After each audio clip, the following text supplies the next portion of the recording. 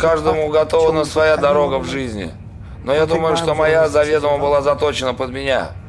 Если смотреть на вещи реалистично, меня не должно было быть здесь. Меня похитили, бросили в багажник 50 кусков за мою башку, 100 кусков за мою башку. Какой я только не занимался хуйней. Стреляли в людей, шмаляли в ноги, обливали бензином, поджигали.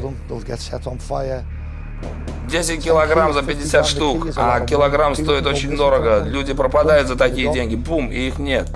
Проверка на прочность. Я здесь для того, чтобы собирать деньги. Это то, что я делаю, и это все, что у меня есть.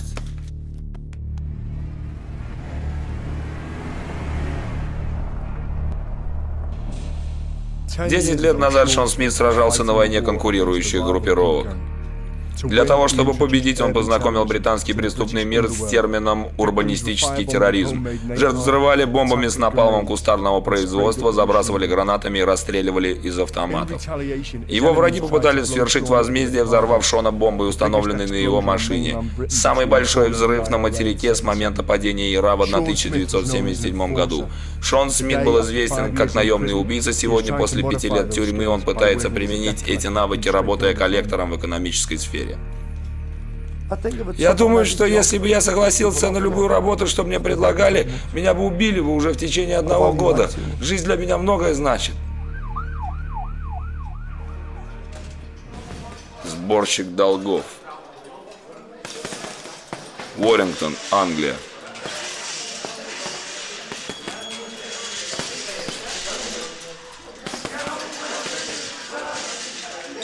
Спортивный зал «Дом мышц».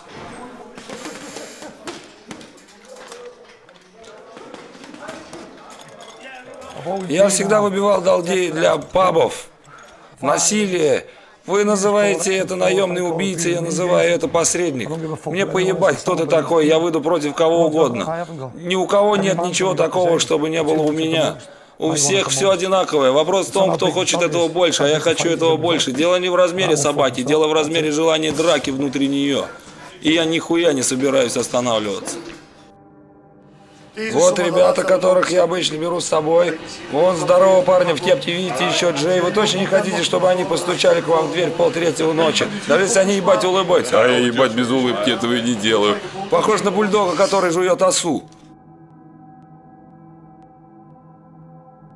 В общем, мы сегодня собираемся пройтись через один двор. В общем, мой товарищ попал на казенный отдых, его не было несколько месяцев, и этот чувак такой увидел возможность, его нет, ну и не буду я ничего платить. Есть такие люди. И он неплохо задолжал. Он знал, что мой товарищ вот-вот должен вернуться из тюрьмы, и он завалил мусором и отходами всю территорию. И моему товарищу выставили счет на 300 штук, чтобы вывести весь этот мусор, который причиняет вред здоровью и окружающей среде. 300 тысяч – это огромные деньги. Так что я надеюсь, мы сможем что-то прояснить с этим вопросом. Все эти маленькие помещения и склады, как кусок хлеба для нас. Все эти люди – это рабочий класс, маленькие компании, понял, сварщики, маляры, техобслуживание. В основном здесь они основные заказчики. С учетом современной экономики, страна находится в жопе. Но эти люди, они не бойцы. Поэтому они звонят нам, и появляемся мы и собираем долги для них. Но они все нас знают, потому что у нас свой спортзал, и мы все местные, понял? Если надо организовать здесь 15 человек в течение 10 минут, будет им 15 человек за 10 минут. Где-то еще так не получится. Мы всегда твердо знаем, что за нами стоят отличные крепкие парни. Вот здесь. Вот он, да-да-да-да, вон там. Йоу, Том! Я здесь, брат, на твоем участке. Ёб же твою мать, это что за хуйня тут происходит, брат? Боже ж мой. Я тебе скажу, что мы сделаем. Сейчас заглянем в будку, там посмотрим и съебем отсюда. Майки, Майки тормознет тут на ночь, а если кто-нибудь нарисуется, неважно кто, он будет схвачен. Ты, ты глянь, что тут у них около входной двери. Ножик, ёпта. Томми, Томми, ты мне только скажи, где он, брат. Назови, назови номер двери, в которой мне постучать, и я туда постучу. И так нам с него надо забрать 25 кусков, остальное отдаст потом. Не-не-не, я про то, что мы с Майки можем забрать для тебя. Ты рад? Ну, ништяк. Зачастую задолженности, с которыми работает Шон, являются той серой невидимой частью, связывающей легитимную экономику и преступный мир. Крайне прибыльный рынок, оборот которого насчитывает приблизительно 150 миллиардов фунтов. Это типичная для Шона задолженность, спор между бизнесменом и гангстером в 300 тысяч фунтов. Для сбора этой задолженности Шон прибыл с подкреплением и бойцом с собакой. Но стоило лишь оператору выключить камеру, как все вышло из-под контроля. Мы увидели настоящего гангстера, чья история основана на насилии и огнестрельном оружии. Мы не знаем его, наш братан знает его, но после сегодняшнего вечера он узнает, кто мы есть. Собираемся сходить к нему домой. Посмотрим, сможет ли мы его выцепить. Его, может быть, постанова с дешевой тачкой около его хаты, может пользоваться адресом для почтовых реквизитов. Понял?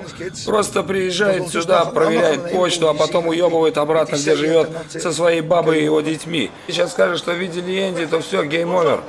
Звони в любой звонок.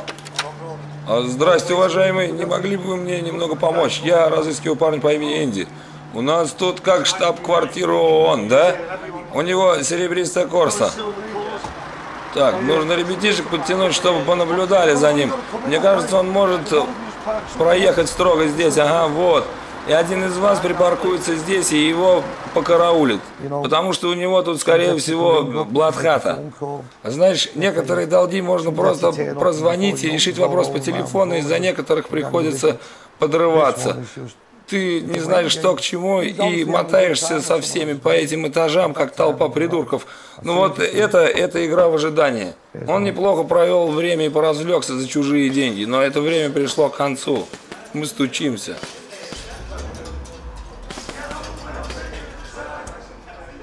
Этот чувак, которого сейчас увидите в мониторе, местный бычара ебаный.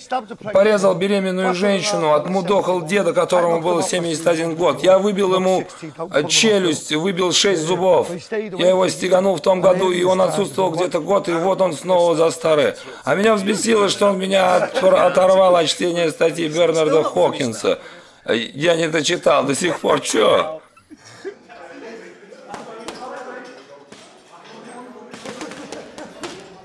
Люди обожают здесь тренироваться или просто заходить попить чайку, просто поболтать, даже если не тренируются.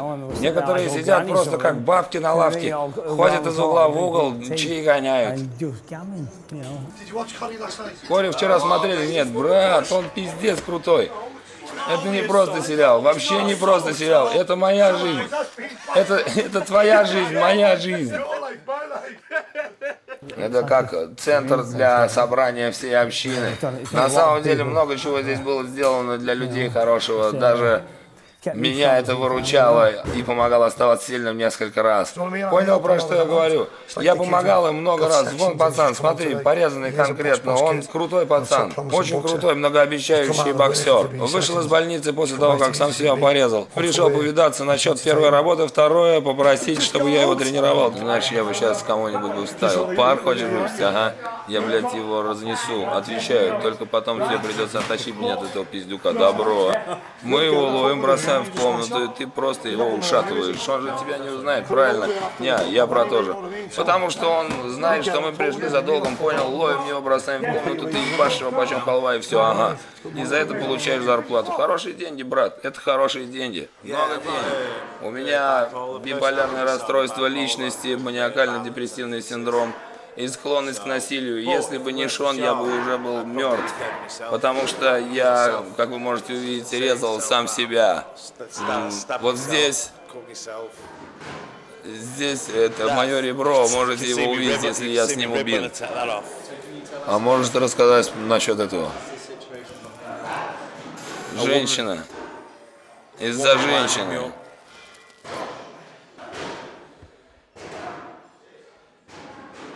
Как у меня так получилось, взял нож, воткнул, разорвал. Принял 20 грамм валиума. Хапнул передоз, но они меня упекли. Коллинз Парк, Уоррингтонская дурка. Но Как я уже говорил, Шон не дает мне распуститься. Он сказал, что если еще раз подобное выкину, он выкинет меня. Поэтому я думал, что пора завязывать. Давай, давай, пробуй. Пробуй, порадуй меня, ёб твою мать, говнюк. Вы здесь для него все время, он уже такое сделал прежде, лицо, шея, запястье, посмотрите. И мы здесь для того, чтобы помочь ему преодолеть это, потому что он здравый, здравый парень, у него невероятный талант, только проблема с головой. Лет в 10 или в 11 надо мной сексуально надругался мужик, которого боготворила моя мама. И долгие годы я не мог почувствовать себя мужчиной, поэтому я выбрал бокс, уличные бои, смешанные единоборства, для того, чтобы доказать самому себе, что я мужчина. И перестать чувствовать себя слабым и уязвимым, тем, тем тот мужик заставлял меня себя чувствовать. И каждый раз, когда я бьюсь, я представляю его лицо. Помню, стоял у зеркала и думал, я тебя, блядь, ненавижу. Чтоб ты сдох брал лезвие и резал себя. Потом становился лучше. Переставал себя ненавидеть. Много таблеток я не принимал, по... поэтому, когда становилось плохо, я просто резал себя. Сейчас на мне места живого нет, так что, думаю, больше этим заниматься у меня не выйдет. Ёб твою мать, это что такое? Тебе нельзя спарринговаться. Ты глянь, блядь, что он сделал. Да все нормально. Не, снимай варежки, иди, налепи пластырь. Есть бинты? Нет. Пластырь иди, блядь, залепи. Ну ты пиздец вообще. Я скажу тебе, что я сделаю. Еще раз такое исполнишь, брат. Я тебя из зала выставлю. Серьезно. Что-нибудь в этом роде и все. Ага. Я тебе последний шанс даю, понял? Последний шанс, брат. Аккуратнее. Люблю тебя. Тоже люблю тебя. Увидимся. Давай, давай. Последняя минута. Давай, давай, давай, давай.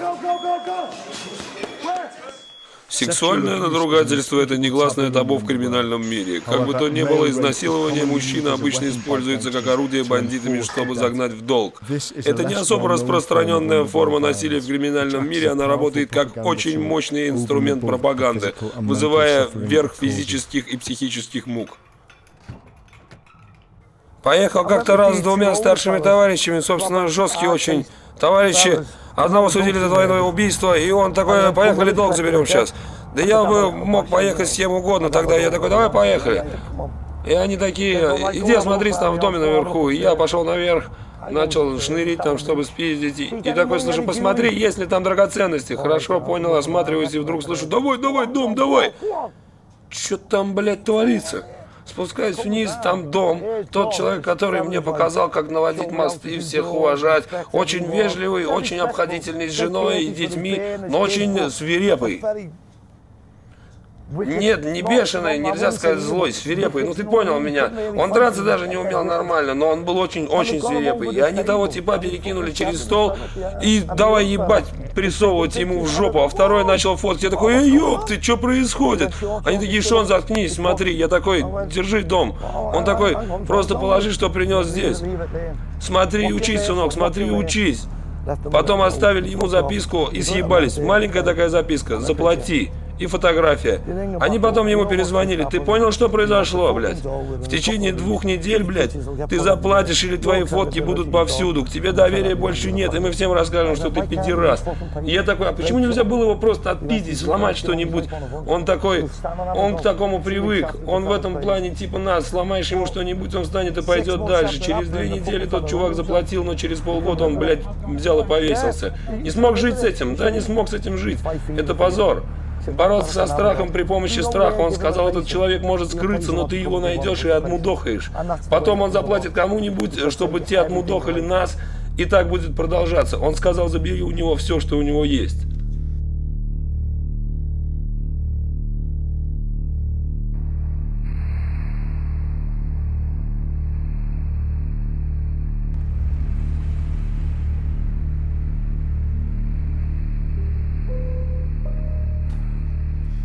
Например, мой добрый друг э, Чеди попросил меня забрать долг с типа, он сейчас тренируется в зале. Ну, сегодня попробуем сегодня выцепить этого типа, посмотрим, поймаем его или нет. Потому что он как крыса. Таракан ебаный, да? Вот что, блядь, на мозги мне давит. По полдня прозванивают людей. Ну, на самом деле все было вот так. Этот парень, который мне должен, изначально был компаньоном моей дочери.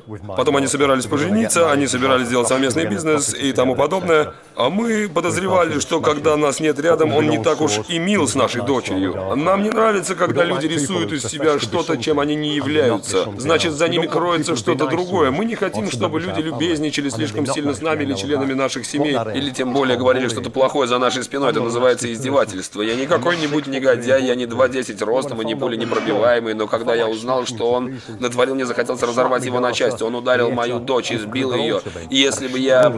Если бы я до него добрался, то задушил бы его голыми руками, но я этого не сделал, и я благодарен кому-то такому, как Шон, который сказал мне, Фил, никогда ничего не делай в гневе, все надо делать легально и не пороть горячки.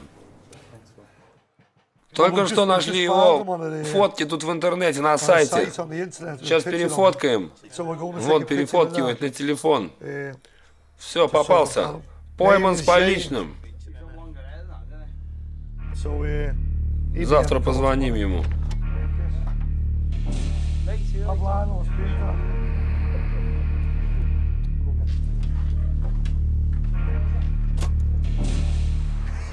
Первый раз за несколько месяцев не одеваю балаклаву.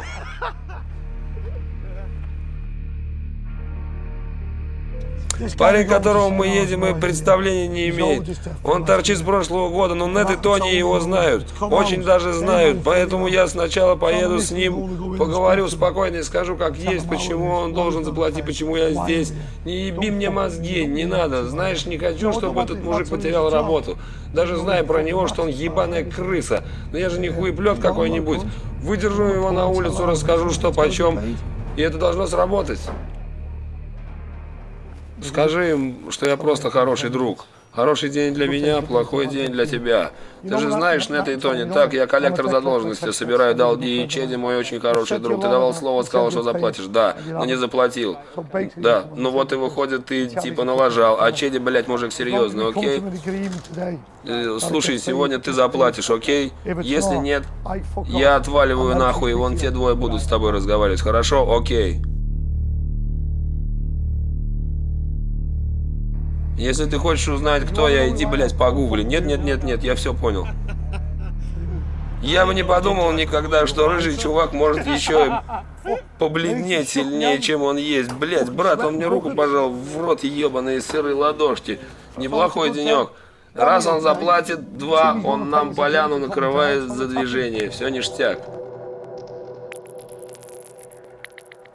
Чези ходит весь такой, улыбается, а для меня это просто работа. Я чертовски рад за него, но таких людей полно везде. И кто-то должен заступиться за кого-то, потому что таких, как я, тоже полно везде.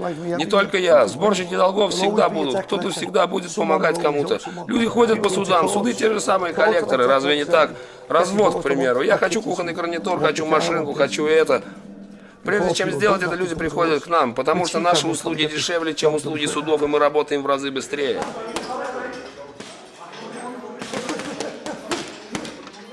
Комната Шона. Входите на свой страх и риск. Вот что произошло сегодня. Один из моих сотрудников, который у меня работает несколько месяцев, а я его устроил приставом. У него неплохо получалось, он неплохой парень, в целом даже хороший.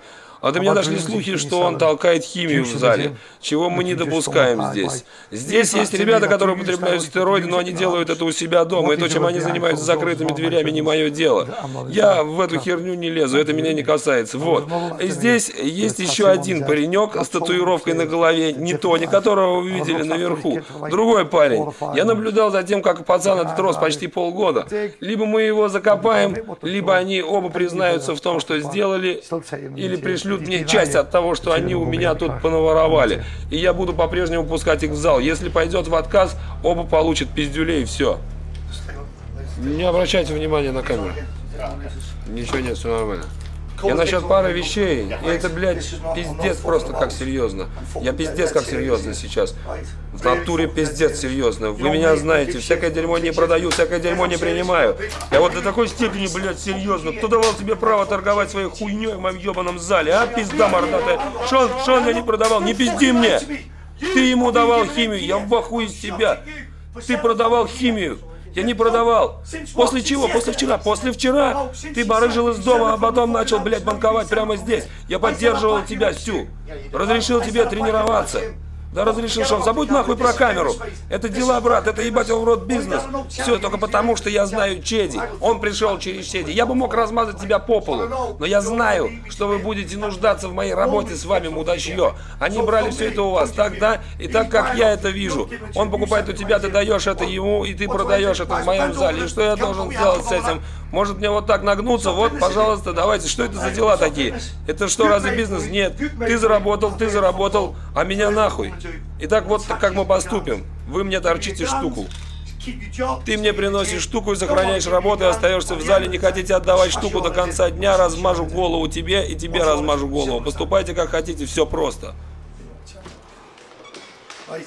Вы же нос. Мы совсем разобрались, чайку потом побьем. Рано или поздно это должно было случиться. Это мы так лещей навтыкали им, просто лещей. Но они заработали денег с моего бизнеса, а у меня здесь счета и все дела. Плачу за аренду, плачу за электричество, и я не миллионер ни хера. Дела есть дела, но это работает вот так вот. Мы так делаем дела. Он моя правая рука, все делается через него, и поскольку он моя правая рука, он мне рассказал. Он не стукач нихуя. Если я что-то такое замечу в зале, я скажу ему, но про это я не знал. Он мой лучший друг, это называется преданность. Этого не купишь за деньги. Он мне как отец. Ничего такого не произошло, все нормально, просто небольшое недопонимание. Шон всегда поможет. Он на край земли ради тебя пойдет. Но когда переходишь ему дорогу, неверный ход. Я не собираюсь этого делать, потому что знаю, кто он такой. Лучше я буду работать с ним, чем против него. Теперь мне надо ему принести 500 фунтов. И я думаю, что это честно, ведь это его зал. И с этим не поспоришь. Все проходит через Шона. Парни знают, что отделались легким выговором, потому что пара подзатыльников не сравнится с кардинальными мерами, к которым Шон прибегал в прошлом. Самые ужасные пытки, к которым я прибегал, не, бля, это я вам точно рассказать не могу. Меня закроют, меня уже закрывали. Надо быть идиотом, чтобы рассказать вам, что я делал. Но все, что я делал с теми людьми, на мой взгляд, они это заслужили. После всей хуйни, что они сделали со мной, конечно, это сказывается на тебе. Я не могу спать нормально. Принимаю по 50 грамм серотина, по 5 грамм пропанола, 7,5 миллиграмм запликона. У меня предраковое заболевание горла, опухоль в печени. Сейчас жду операцию на желудке. Я вегетарианец, не ем мясо, сам себя навредил. Это все из-за проблем, с которыми я сталкивался. Состояние депрессии, тревоги, припадки паники – я бы хотел быть нормальным. Ну, мне кажется, что я нормальный. Я думаю, что у меня нормальная жизнь, но иногда мне нравится просто прийти в зал, открыть зал, поболтать с парой парней в зале. Обычно, обычные беседы, просто треп. И потом кто-нибудь из них такой, а, не ты лишен из Ливерпуля, бла-бла-бла, и ты такой, а. Шон Смит был экстремистом, сеявшим ужас без всякого рационального смысла. Но подводные камни этой криминальной войны дают ему о себе знать и по сей день. Я занимался этим 20 с лишним лет, и для кого-то это может ни о чем, но для меня это значит многое. Я величайший Кинг-Конг. Нет, не ты, ёпты. Я вот, вон я в костюме. Я не величайший, но я очень суеверен. Для меня это как ритуал. Малозаметные такие детальки каждый день, которые ты видишь. Правая рука отдавать деньги, Левая получать. И я хочу, чтобы левая рука постоянно чесалась к деньгам. У меня много счетов. Вы верите в Бога? Нет. Смотри, вон все заржали там. Нет. Я не верю в Бога. Вообще нет. А даже если кричусь, это как дань уважения к людям, которые скончались. Ну, наверное, пару из них э, прикончил я сам лично. Я понимаю, что это не смешно. Это, это не смешно, но это просто то, в чем рождаются и живут люди. Я вот только потерял очень близкого друга Джошуа Уэмина, чемпион Британии по кикбоксингу, чемпион мира по кикбоксингу. Он был невероятно сильным человеком, и мы были свидетели его кончины. на прошлой неделе, и я плакал, я должен был через это пройти.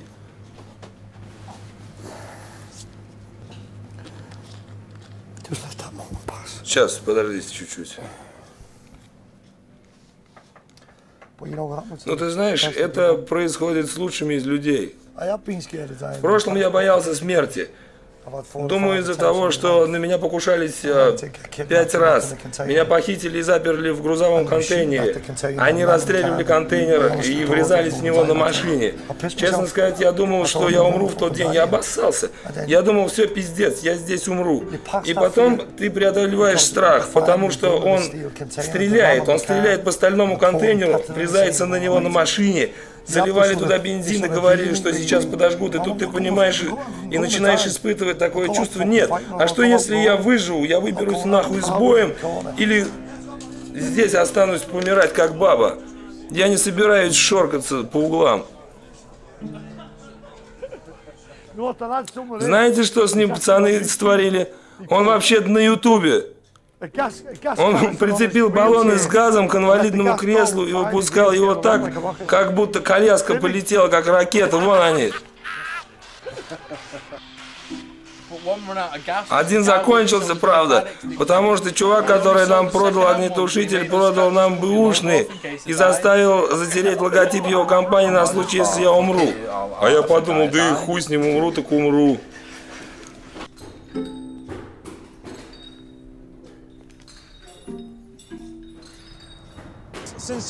Когда вы у меня брали интервью последний раз, видели порез, который был на моем животе. Я вышел, закинулся таблетками, я сидел в ванной, я нормально принял, порезал себе лицо, но задел артерию на, на виске, вот с этой стороны.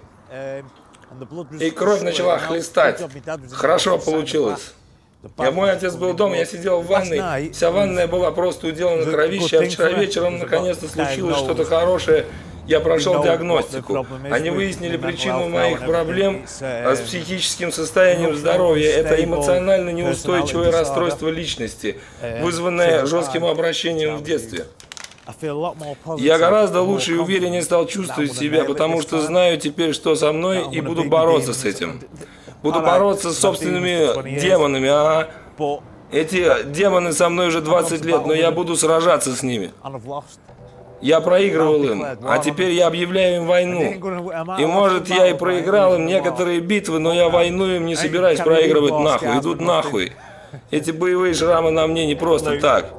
Люк, теперь начальник, он мой старший брат. Он несколько месяцев со мной не разговаривал. А теперь дал мне последний шанс. Отличный способ отвлечься от таблеток и всякой херни.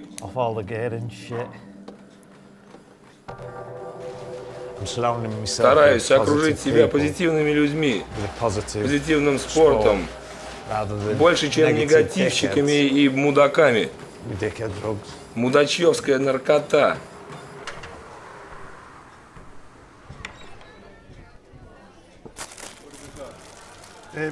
Ага, вот она. Не отказывайтесь от предложений на следующей неделе. Все получится. А завтра же появится большой смачный долг. В течение нескольких следующих недель вы зарядитесь свежей энергией. Так это же хорошо, братан. Приготовишься к своему бою. Немного энергии, подготовка, освежение – такой оголодаешь, выиграешь пояс чемпионский. Новую химию начнешь колоть. Как ремень буду носить этот пояс. Ваша счастливая цифра 2. Она принесет вам удачу. Идите нахуй, дебилы. Я вам кое-что сейчас покажу. Помните, в прошлый раз у меня в кабинете, когда произошел небольшой инцидент с астероидами, была пара парней. Тони, мужик, который говорит, Шон, я сделаю все для тебя. Если помните, он напрыгнул в кабинете на одного из тех парней и пытался как следует треснуть его, этого мелкого таракана по морде. Он торговал стероидами в зале и даже около зала без моего ведома. И мы такие, раз в пятницу утром приходим, его нет. Парни дверь вышибают, пара, пара ребят поднимается, Выбили дверь, в квартиру его нет. Мы проверили камеры, и вот он. Уезжает. Вот он, этот мелкий таракан. Смотри на него. Аж кровь кипит, блядь. Посмотри на него. Хер на жену, хер на детей. Главное, чтобы ему было нормально. Шмотки взял только свои. Смотри. Смотри, за голову держится. Видел, да? А -а -а. Это он химоза об обдолбился. У нас все его контакты. Где он берет? Мы ему позвоним и попросим продать еще. Ну а дальше он попадет в небольшую неприятность, потому что так не катит. Я на самом деле помог этому пацану, реально помог, а он так на меня наплевал. Такого не будет. Вот здесь жил Тони, когда работал в моем зале. В этой комнате ни разу не убирались. Посмотри только, ёб твою мать. Гадость. Он персональный тренер, он тренирует людей, диеты людям пишет. Как так нахуй можно жить? Где-то около 90 пакетиков из-под коти валялось на диване. Повсюду вообще. Все это барахло, это все его. Мы сейчас э, с вами побывали на блядской помойке. Нахуй все это вообще нужно? Ну вот как именно что с тобой делают наркотики. Это все атрибутика Тони. Все это мы нашли наверху. По-любому он сам на стероидах. Ну вот они, наверное, есть. Но он на химии по-любому. Тут мог быть, кстати, как я думаю, еще и героин. Честно сказать, я особо не разбираюсь. Это все... Ну вот, например, упаковка, блядь, что за нахуй? Я даже не знаю, что это такое. Это еще что такое, блядь? В мусорку нахуй. Вот барбитура еще какая-то нахер. Он взял так, вот свалил нахуй. Понял, что часы фальшивые в мусорку, в мусорку, кольцо нахуй тоже в мусорку. Все эту хуйню, за которую он заплатил, она вся летит нахуй в мусорку. Ей там самое место, я ему ничего не отдам. Я ему, блядь, воздуху бутылки, блядь, не дам нихуя теперь. Таракан мелкий. Сейчас приду.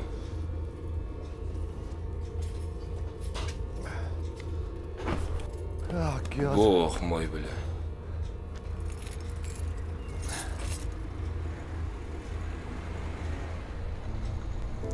Да я не расстроился, братан, я до смерти разозлился, потому что моего друга киданули на 300 кусков, Тони был мне должен три с половиной штуки. Это тоже не маленькие деньги. Кто-то может сказать, ну, у него проблема с наркотиками, помог бы ему. Да я ему помогал, но Делал для него все, что мог, а он все перевел на негативную волну, понял? Это меня расстраивает, но не сильно. Я такой, ммм, педрила мокрожопая. И такой думаешь, я что, блядь, заслужил? Разве это все заслужено? И иногда я смотрю в зеркало и думаю, что ты делаешь, ёпта? Зачем взваливаешь на себя чужой головняк и чувствуешь ответственность, которую чувствовать не должен, потому что это не мои проблемы. Я проблему эту не сочинял, я просто пытаюсь ее решить за кого-то и сделаю все, что я смогу. Но я чувствую также, не знаю, должен ли я это говорить, нет того, кто решил бы за меня мои проблемы, нет такого человека. Это пиздец тяжело, брат. Потому что люди смотрят на тебя и ждут, что ты появишься там для них и такие, а, плечо, на котором поплакать. Подожди, стой, все, надоело, блядь. Все сводится к мелочам. Мои, например, я бы хотел, чтобы вы сняли мою дочь, взяли у нее интервью, чтобы увидеть меня с другой стороны, но я не доверяю тем, кто это может потом увидеть. Не хочу, чтобы они видели мою дочь, даже жену не хочу, чтобы видели все. Любят своих детей, каждый считает своих детей лучшими, но она просто очаровательная малышка, у меня пять дочерей. Я бы хотел показать вам, какой я дома. Вот, да я разрешаю им рисовать на моем лице, завязывать мне бантики в волосы. Ну, они же дети, понял, да. Выгляжу глупо, но, эй, я, я просто отец. После окончания съемок Шон сорвал джекпот. Он получил заказ на док в 1 миллион фунтов в Португалии. Это был самый большой заказ за все время. Заработанные деньги пришлись очень кстати, они покрыли все дорогостоящие расходы на отдых, который был ему так необходим. Шон так и не пришел к тихой семейной жизни, о которой он так мечтал. Нед по-прежнему работает с братом. Он не употребляет и не занимается членовредительством. Он упорно готовится к своему возвращению возвращению в профессиональный бокс. Тони по-прежнему в бегах. Его семья боится, что если он вернется обратно, то навеки будет числиться в списке пропавших без вести.